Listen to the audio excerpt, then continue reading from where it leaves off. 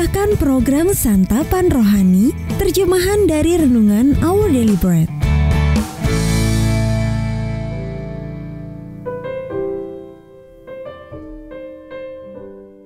Sahabat ODB, pembacaan Alkitab hari ini terambil dari Roma pasal yang ke-15, ayat yang pertama sampai dengan ayat yang ke-7. Roma pasal yang ke-15 ayat yang pertama sampai dengan ayat yang ke-7.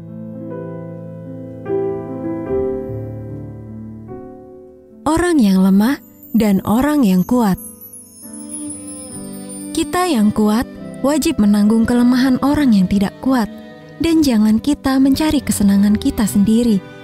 Setiap orang di antara kita harus mencari kesenangan sesama kita demi kebaikannya untuk membangunnya. Karena Kristus juga tidak mencari kesenangannya sendiri, tetapi seperti ada tertulis, kata-kata cercaan mereka yang mencerca engkau telah mengenai aku. Sebab segala sesuatu yang ditulis dahulu telah ditulis untuk menjadi pelajaran bagi kita, supaya kita teguh berpegang pada pengharapan oleh ketekunan dan penghiburan dari kitab suci. Semoga Allah yang adalah sumber ketekunan dan penghiburan mengaruniakan kerukunan kepada kamu, sesuai dengan kehendak Kristus Yesus. Sehingga dengan satu hati dan satu suara, kamu memuliakan Allah dan Bapa, Tuhan kita, Yesus Kristus. Sebab itu, terimalah satu akan yang lain, sama seperti Kristus juga telah menerima kita untuk kemuliaan Allah. Sahabat ODB, ayat emas renungan hari ini terambil dari Roma pasal yang ke-15 ayat yang kedua.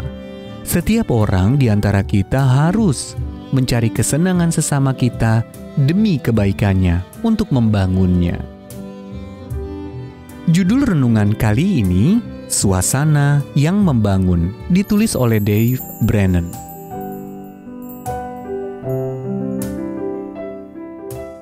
Saya bersemangat setiap kali masuk ke pusat kebugaran dekat rumah kami.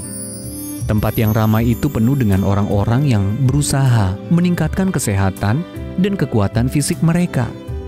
Tulisan-tulisan yang dipajang di sana mengingatkan kami untuk tidak saling menghakimi, tetapi justru mendorong kami untuk memberikan kata-kata dan sikap yang menyemangati upaya orang lain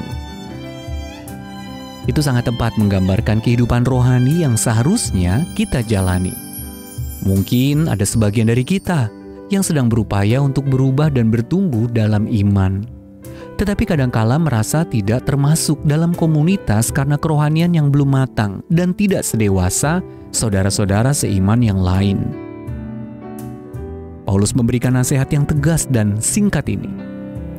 Nasihatilah seorang akan yang lain dan saling membangunlah kamu. 1 Tesalonika pasal yang kelima ayat yang ke-11. Kepada orang percaya di Roma, Paulus berkata, setiap orang di antara kamu harus mencari kesenangan sesama kita demi kebaikannya untuk membangunnya. Roma pasal yang ke-15 ayat yang kedua. Dengan menyadari kemurahan hati Bapa kepada kita, marilah kita meneruskan kemurahan itu kepada orang lain lewat perkataan dan perbuatan kita. Ketika kita menerima satu sama lain dengan senang hati, Roma pasal yang ke-15 ayat yang ke-7 dalam terjemahan bahasa Indonesia sehari-hari, marilah kita juga mempercayakan pertumbuhan rohani kita kepada Allah dan karya roh kudusnya. Selagi kita berusaha mengikut dia setiap hari, kiranya kita menciptakan suasana yang membangun bagi saudara-saudara seiman kita, karena mereka juga sedang berusaha untuk bertumbuh di dalam iman. Tuhan tolong aku untuk menyemangati orang lain yang ketemu hari ini.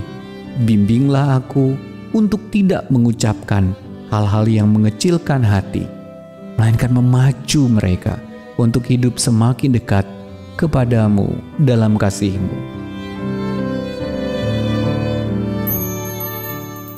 Sahabat Odibi yang dikasih Kristus kata-kata yang membangun dapat menguatkan orang untuk tetap maju di saat mereka hampir menyerah.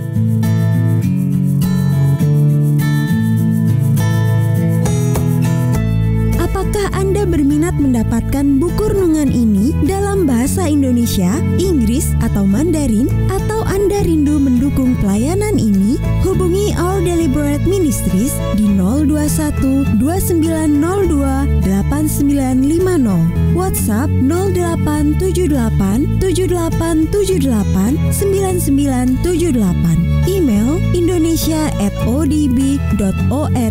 Tuhan Yesus memberkati.